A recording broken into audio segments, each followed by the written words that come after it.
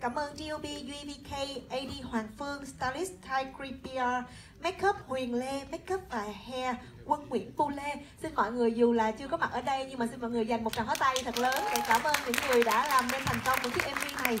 Và bây giờ sẽ là câu trả lời từ chị Hà. Cảm ơn Khôi nhiều. Hà thì ờ, cũng xin được chia sẻ thật lòng là chưa bao giờ và luôn luôn sợ hãi khi mà ai đấy giới thiệu mình một cách quyền lực nên là Hà cũng rất là sợ là uh, thể hiện cái sự quyền lực đó vì Hà chưa bao giờ dám tin cũng như là khẳng định rằng mình là một người có thể làm được tất cả mọi thứ nhờ quyền lực của mình. Uh, tuy nhiên Hà nghĩ rằng là uh, tâm lý là một nghệ sĩ thì bản thân của Hà cũng không phải lời mời nào mình cũng nhận lời nhưng nếu mà có những lời mời xuất hiện một cách hợp lý thì Hà sẽ nhận lời và ừ, sự nhận lời đấy là không bàn tới giá cả và Hà cũng nghĩ tới ờ, câu chuyện của bốn bạn nhân vật này cũng vậy. Khi mà cả ekip ngồi để họp về ờ, ờ, đường dây kịch bản câu chuyện, thì chọn rất là nhiều những gương mặt khác nhau. Những gương mặt hot girl, những gương mặt hot tiktoker, hay là ở những gương mặt nào mà để có thể tạo nên một cái sự chú ý. Bởi vì thực ra đến cuối cùng một sản phẩm mà tạo được sự chú ý là một sản phẩm thành công. Thì khi mà gần kết thúc buổi họp thì hà lại chợt nghĩ ra là, hà bảo hà muốn được uh, lựa chọn những bạn đã từng đổ vỡ. Và những câu chuyện đấy uh, hà biết tới mọi người biết tới. Và đặc biệt là đằng sau cái câu chuyện đổ vỡ đấy thì ờ, các bạn đấy đã như thế nào. Và cũng đã soạn ra rất là nhiều những cái tên. Và cuối cùng thì mọi người chốt lại à, bốn uh, bạn này. Và may mắn thay là uh, chốt lại là một chuyện mời các bạn có nhận lời hay không lại là chuyện khác. Thì uh, khi mà ừ, bạn Trung gửi lời mời thì tất cả mọi người đều nhận lời một cách nhanh chóng và ờ, không có đặt bất kỳ một câu hỏi gì và hoàn toàn chấp nhận chuyện đưa bản thân của mình đưa câu chuyện của mình một lần nữa được sống lại trong MV lần này.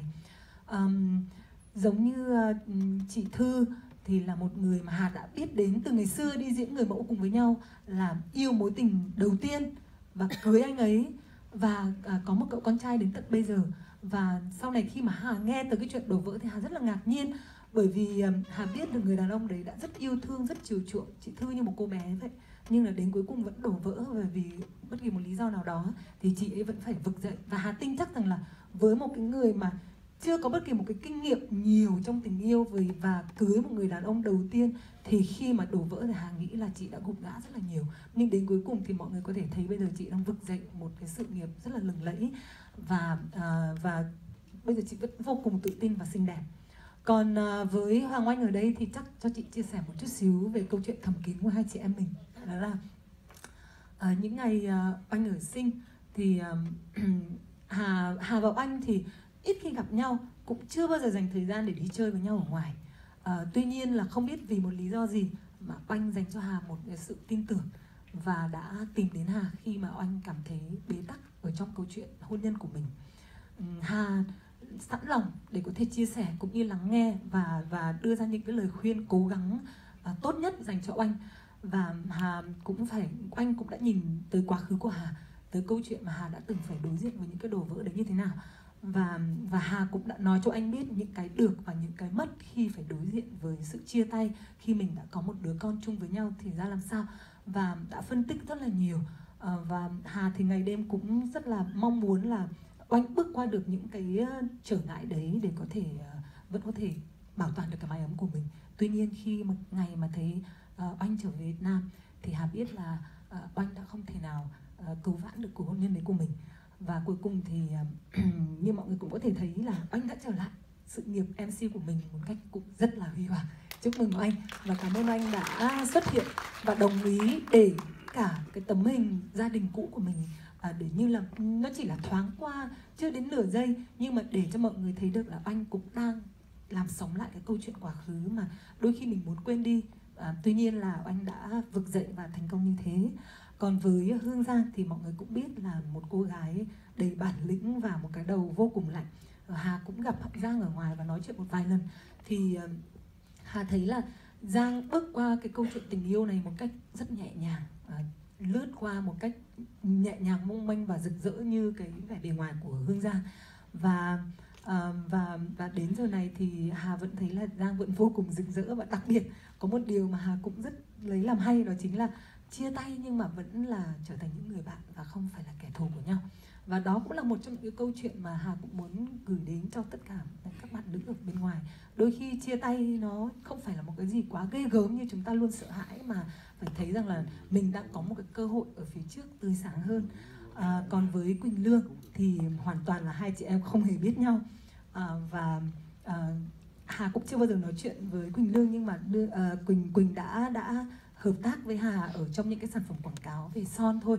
Thì Hà thấy là cô gái này rất là xinh đẹp. Nhưng mà sau này khi Hà biết được là bạn cũng đã có một đứa con và và có một cuộc hôn nhân từ rất là sớm và Hà tin chắc rằng là đó sẽ là một trong những nỗi ám ảnh sợ hãi. Nếu như bạn không đủ mạnh mẽ để vượt qua thì thì thì bạn sẽ sẽ trở thành một người phụ nữ trầm cảm và một người phụ nữ bế tắc và không thể nào nuôi được đứa con của mình.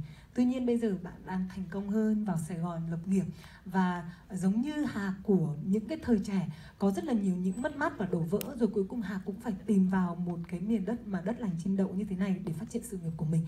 Thì khi mà uh, Trung nói là gợi ý về Quỳnh Lương thì Hà đã đồng ý ngay và Quỳnh giống như là một hiện thân của những cô gái trẻ mà ở đây thì bốn số phận của bốn độ tuổi khác nhau, bốn cô gái khác nhau, uh, những câu chuyện cũng hoàn toàn khác nhau. Tuy nhiên đến cuối cùng thì vẫn là những người phụ nữ rất là mạnh mẽ và luôn xinh đẹp. Đó là cái câu chuyện mà Hà đã lựa chọn các bạn này. Sorry Hà nói hơi dài.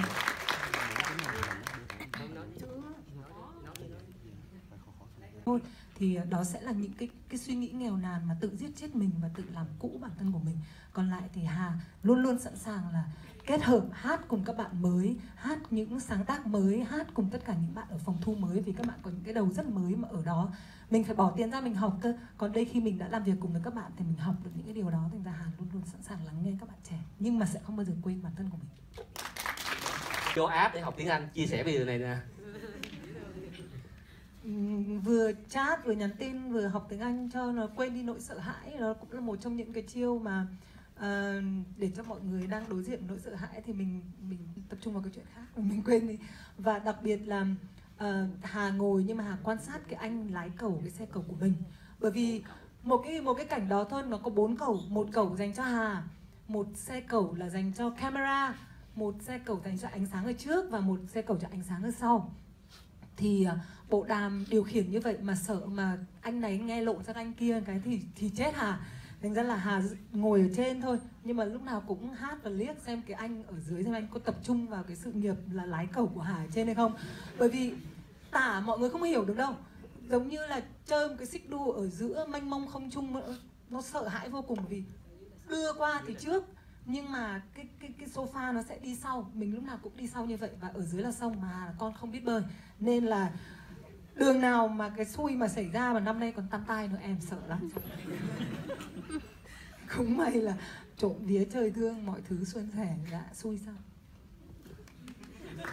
Cảm ơn những chia sẻ rất là thú vị của ekip và nín thở là nín thở mà quay như vậy cả mấy tiếng đồng hồ mọi người cứ nín thở như vậy. Cuối cùng là ra được những cái shot máy quay rất là ấn tượng rất là khác lạ. Và và thật sự là Hồng Anh hy vọng là mọi người sẽ tiếp tục share MV này để cho chiếc MV này nhanh top trending để bù lại với công sức của cả ekip đã bỏ ra rất là nhiệt huyết phải không ạ? đâu mà mà gắn bốn nhân vật uh, thật vào trong những cái câu chuyện và những cái concept như vậy đúng không? à, thì chị, chị Hà cũng đã trả lời một phần nào như là Quỳnh Lương là một cô bạn à, đại diện cho thế hệ trẻ uh, còn uh, Hương Giang là đại diện cho một thế hệ uh, những cái bạn mà lớn tuổi hơn xíu nhưng mà rất là thành đạt như kiểu mà doanh nhân rồi uh, chị Thư thì là những uh, uh, chị lớn hơn nữa và trung niên và nhưng mà rất là uh, thành công rồi đã thành công rồi nhưng mà vẫn có những cái bụng vỡ. À, uh, rồi còn anh là đại diện cho những bạn phụ nữ mà gia đình. Đó thì thì ờ, mình cảm thấy rất là phù hợp. À, còn về cái concept thì chắc là nhờ Alex.